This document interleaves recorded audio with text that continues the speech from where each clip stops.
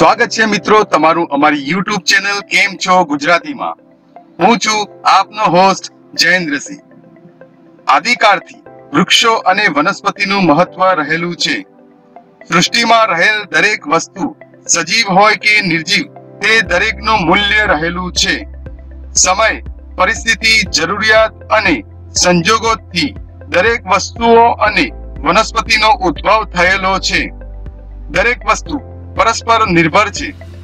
જેથી કરી એવું ના માની લેવું કે કોઈ પણ વસ્તુ ઉપયોગી નથી. મિત્રો, આજકાલ કોનોકાર્પસ એ ખૂબ જ ચર્ચાસ્પદ વિષય બની ગયો છે.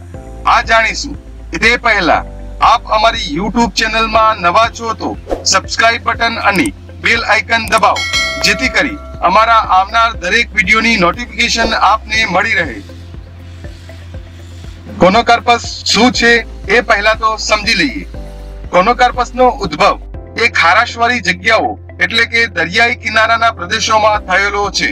કોનોકાર્પસ ફ્રન્ટલાઈન ટ્રી માનવામાં આવે છે, કારણ કે દરિયામાંથી આવતા ખારાશવાળા પવનોને રોકે છે અને જમીનનું ધોવાણ અટકાવી દરિયાઈ ખારાશવાળી વધતી સપાટી અટકાવે છે, જેના લીધે જમીન પર રહેલા વૃક્ષો અને વનસ્પતિને રક્ષણ મળે છે. ઉદાહરણ તરીકે લઈએ તો રાજસ્થાન અને કચ્છના રણ વિસ્તારમાં ઉગી નીકળતા બાવળ, જેને આપણે ગાંડા બાવર કહીએ છીએ, જે આગળ વધતા રણને અટકાવે છે અને સારી જમીનનું રક્ષણ કરે છે. મિત્રો, હવે તમે કલ્પના કરી શકો છો કે જો કોનકાર્પસ અને ગાંડા બાવર જેવા વૃક્ષો ન હોય, તો શું પરિસ્થિતિ સર્જાય? અહીં કહેવાનું તાત્પર્ય એ છે કે દરેક વૃક્ષ કે વનસ્પતિનો ઉદ્ભવ તેના અનુકૂળ સંજોગો અને પરિસ્થિતિઓના સંરક્ષણ માટે થયેલો છે. અને વળી કોનોકાર્પસ વૃક્ષ એ ગરમ જલવાયુ અને ખારાશવાળી જગ્યાઓ માટે બનેલું છે. આવશ્યકતા ના હોય તો વૃક્ષોનો સ્થળાંતર કરવાની કોઈ જરૂર નથી. વળી પરિસ્થિતિને અનુકૂળ વૃક્ષો વાવવાથી સંતુલન જળવાઈ રહે છે. કહેવાનું એ થાય છે કે કોનોકાર્પસ અનઉપયોગી તો નથી જ. કોનોકાર્પસ ને લેટિન ભાષામાં ગ્રીન બટન હુડ તરીકે ઓળખવામાં આવે છે. કોનોકાર્પસની ઘણી પ્રજાતિઓ હોય છે. કોનોકાર્પસને દરિયા કિનારે થતા મેંગ્રો નામની વનસ્પતિના ફેમિલીનું માનવામાં આવે છે. ક્રોનોકાર્પસ બાગ બગીચા તેમજ ફાર્મ હાઉસમાં સુશોભન તરીકે પણ લગાવવામાં આવે છે. ક્રોનોકાર્પસ ઝડપથી વિકસતું અને સદાબહાર હોવાથી બાગ બગીચાઓ તેમજ ફાર્મ હાઉસમાં સુશોભન તરીકે પણ લગાવી શકાય છે. કોનોકાર્પસને ઘર આંગણે પણ લગાવી શકાય છે. મિત્રો કોનોકાર્પસ તે ઉનાળામાં ગરમ હવાઓથી અને વાવાઝોડાથી રક્ષણ આપે છે. જેથી બાગાયતી પાકોના વાવેતરના રક્ષણ માટે તેનું બોર્ડર પ્લાન્ટેશન કરી શકાય છે. આથી તેને ફ્રન્ટ લાઇન વૃક્ષ કહેવામાં આવે છે.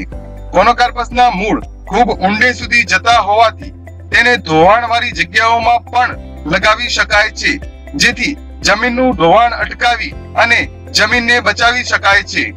વળી, કોનોકાર્પસના મૂળ ખૂબ ઊંડે સુધી જતા હોવાથી ડ્રેનેજ લાઇન અથવા તો મકાનનો નજીક લગાવવાથી દિવાલને નુકસાન પણ થઈ શકે છે.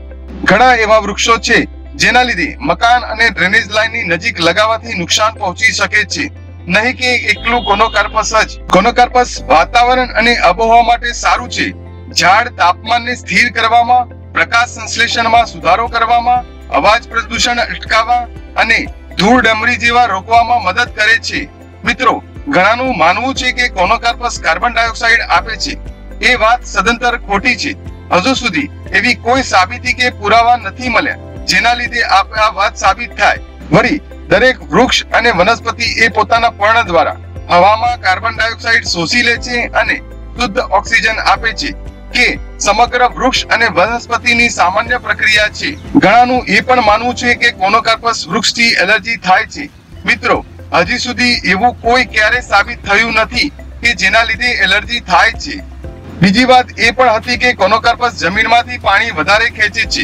મિત્રો, દરેક વૃક્ષ હોય કે વનસ્પતિ, જરૂરિયાત પ્રમાણે ઓછું કે વધુ પ્રમાણમાં પાણી જમીનમાંથી ખેંચે છે અને પર્ણ દ્વારા હવામાં ફેંકવું એ દરેક વૃક્ષમાં થતું હોય છે.